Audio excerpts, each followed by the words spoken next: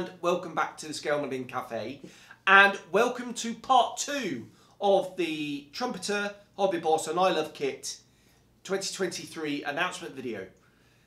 The reason why I'm doing a part two is you may have seen in part one and I'll put a, um, a thing at the end of the video so you can go and watch that if you haven't seen that already the information, the source of the information was a leaked, some leaked photographs of the catalogue, and it wasn't particularly very clear or very good.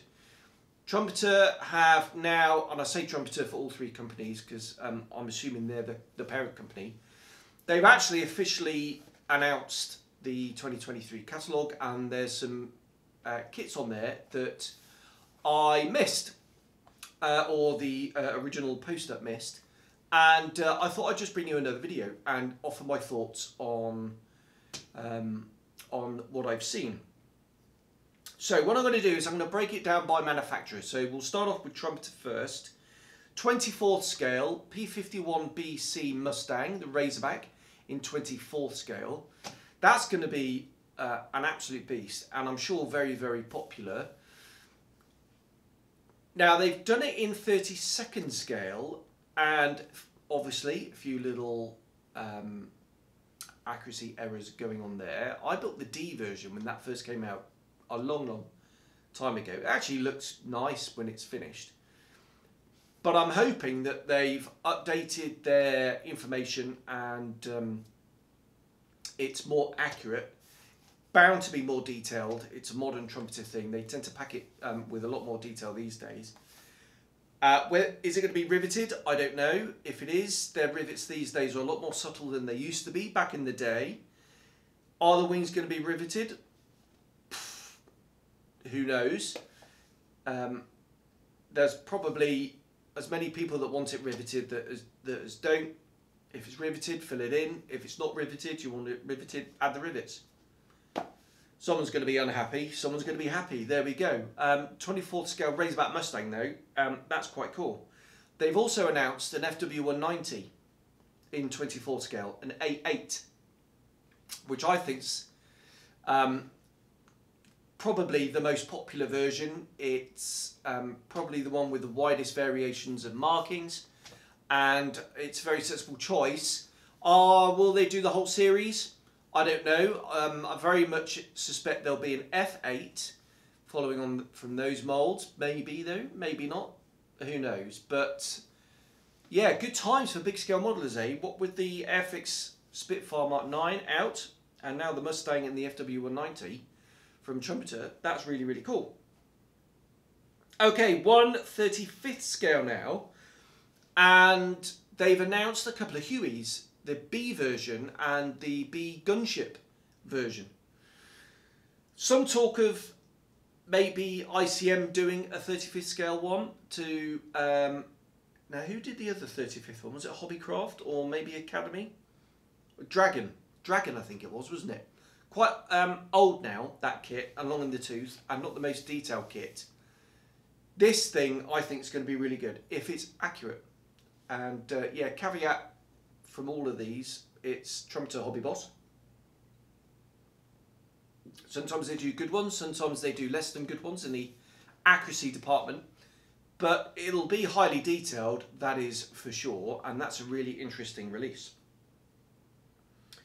48 scale, now some helicopters. Uh, now, which is the one that they've released? Is it the MI-17 or the M8? I don't know. But they're doing the 17 and the 8. Both are coming out this year. I really like that helicopter actually. It's really cool, uh, especially the sort of gunship type version. And I prefer the old 8 uh, with the rounded um, nose personally. That's really cool. They're also doing the MI4. So I built the Hobby Boss 72nd MI8 and the MI4. Both I did derelict ones.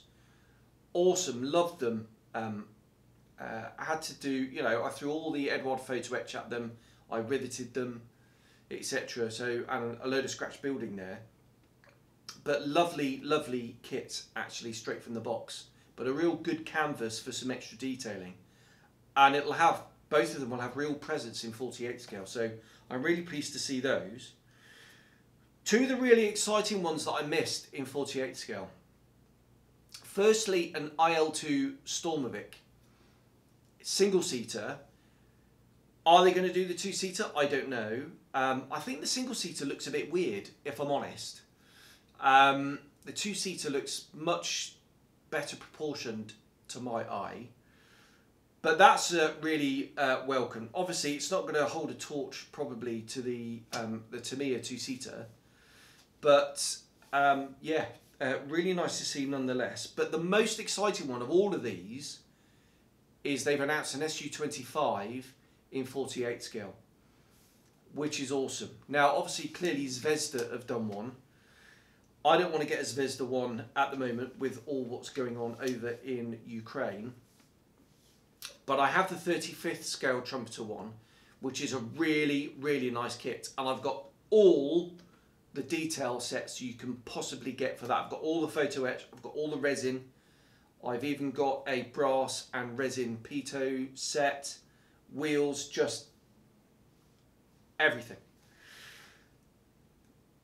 but it's going to be a big model and whether I'm going to get to do that here or not I don't know I really would like to actually that and the F100 which I've got in 32nd scale but that's really welcome to see that in 48th and I'm definitely going to get one of those and I'm definitely going to hoover up all the resin for it as well and um, yeah really really exciting to see that I've, I've seen some beautiful pictures of really really weather beaten aeroplanes that are still flying. They're not derelict jobs. They are in service and they are manky as um, as you like. So really excited to see that. For me, that's top of the list of all of these.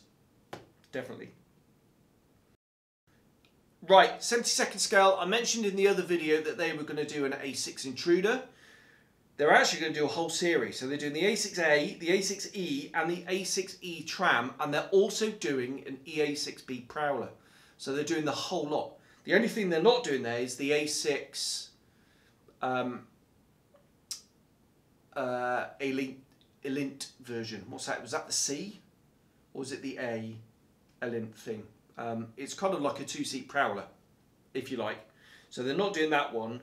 Um, I don't know if they're going to do the KA6 and you can build that from one of these. Um, I, I, really don't know. But that's really nice that they're doing the whole series. Not unexpected, but really nice to see it in the catalogue. Also in 72nd scale, that's been in the catalogue for a very, very, very long time is the MiG-19. But the difference now is, is there's box art. And normally, if there's box art, it means it's close. So I'm really hoping we'll get to see the MiG-19 from Trumpeter this year. Um, but to be honest, I'm not holding my breath. We're waiting a very long time from that. So that's it, aeroplanes for Trumpeter. What I do want to mention right at the end though, is they have done a Queen Elizabeth class carrier, the new one, in 1 700 scale. Clearly, some people are going to moan like hell that why didn't they do it in 350th. It's probably coming, but that's really cool to, to see that. Being an ex, obviously, Fleet Air Arm bloke myself, never seen the carrier, let alone landed on it. The new one, um, I left before it came in, but uh, yeah, really cool to see that. Um, I just thought I'd throw that out there um, because, um, yeah, I'm ex-Navy, so why not mention that?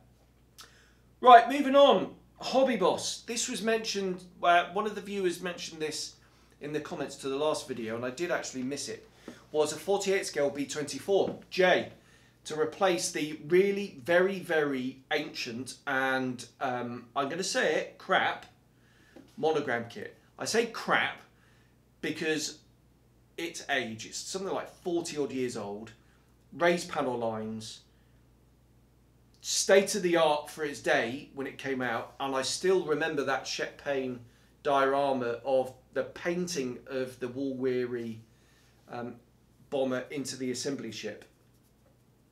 I know there's there's some significant issues in the 32nd scale one, accuracy wise. There's kind of uh, D and J uh, features in both kits, and it's a bit of a mess um, variant wise. Hopefully they sorted it out and they just haven't just shrunken it down. It remains to be seen, but um, that's going to be really quite a big model as well, but really imposing one. And um, yeah, much more manageable than 32nd, definitely. That's just black and white sort of drawing, so um, no idea when that's going to come out. Probably later rather than sooner, I would imagine. And probably quite expensive as well. But yeah, that's really cool. Also in 48 is a U2R and a U2S. Now I don't know my U2s at all, my Dragon Ladies, whatever you want to call them, um, at all. But that's really cool. They did the 72nd scale one and it comes in a teeny tiny little box. But uh, by all accounts, it's a beautiful little kit that. And to see it in 48th is really cool. I'd love to do a, like a modern TR1 with a really long nose and all the rest of it. I, I think from what I remember, I'll, I'll, put the pictures up here. One of them may even have that big jobby going on um, on the back. This is going to be a really cool kit because it's going to be, um, well, first of all, it's going to be complementary to the uh, Revell SR71 Blackbird that was released last year. Also, um, Hypersonic, um, the chap from Hypersonic was designing one. I can't remember who was going to do that now. Oh, crumbs. I'm sure one of you out there will tell me um, um, who's actually going to be producing that one. But a real nice compliment to go with those, and a really challenging but interesting um, black finish to do on that. And some of them actually, you can hunt them out, really did um, weather down quite badly. So that's really, really cool. The other thing that's cool is they're doing a Legacy F-18, an F-18C and I really like the Legacy one. I think it's um, a pretty little aeroplane actually, and uh, I really quite fancy um, doing that in F-18C. Um, a couple of my mates here, Aussie mates, uh, flew the uh, F-18C, so um, I quite fancy doing one of those in um, Aussie markings. That'd be quite cool. So really welcome with that.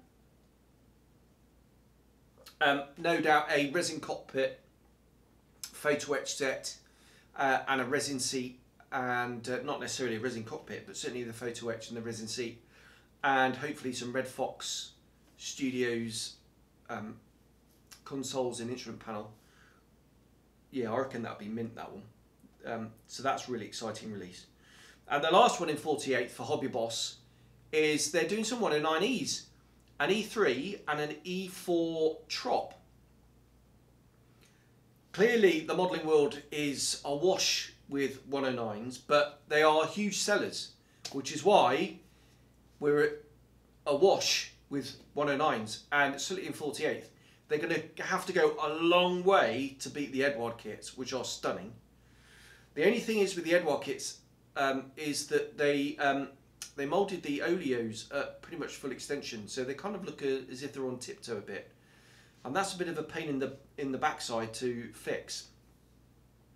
Um, accuracy wise, again, ooh, that that thing. Um, the 30 second scale kits are really nice, and they're actually really quite accurate.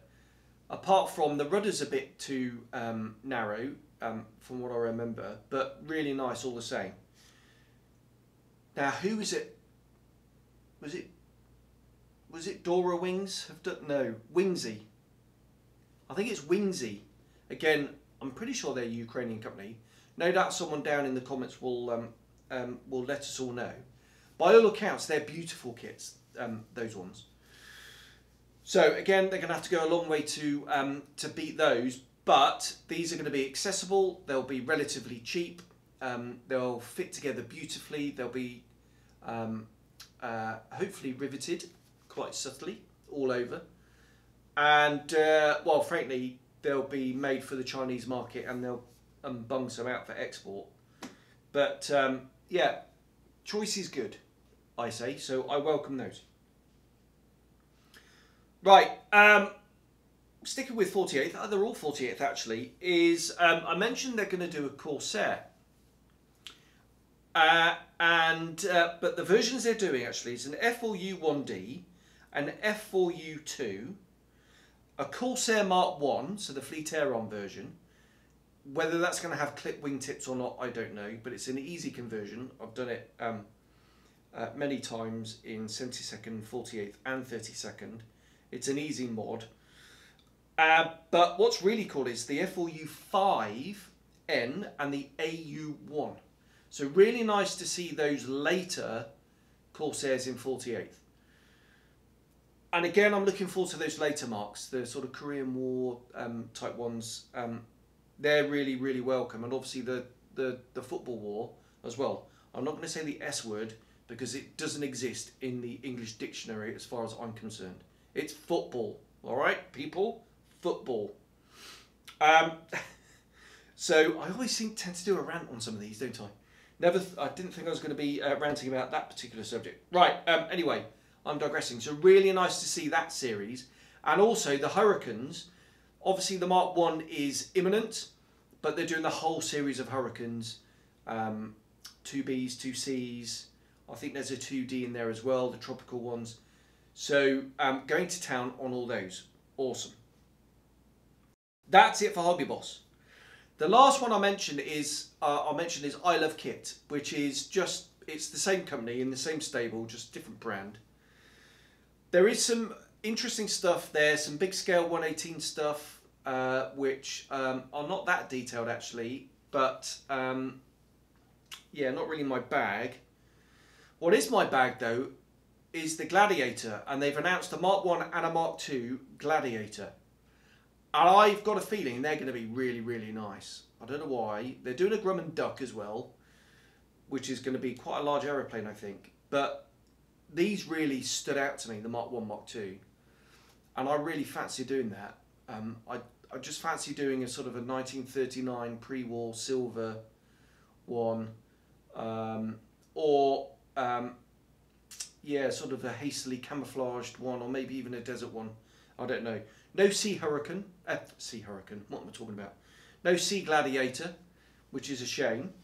Would have been nice to see one of those. But, um, yeah, really, really nice um, nevertheless. So, fantastic to see that. Right, that is quite a long list. So, I missed quite a lot, didn't I? The highlights for me in all those are um, is number one, top of the pile, 48 scale Frogfoot, definitely way up there. The um, 72nd Intruders and Prowler, that's really, really cool. Uh, the Hobby Boss F18, the Legacy F18, the C, and the uh, later Corsairs. Crumbs, when am I going to get the time, eh?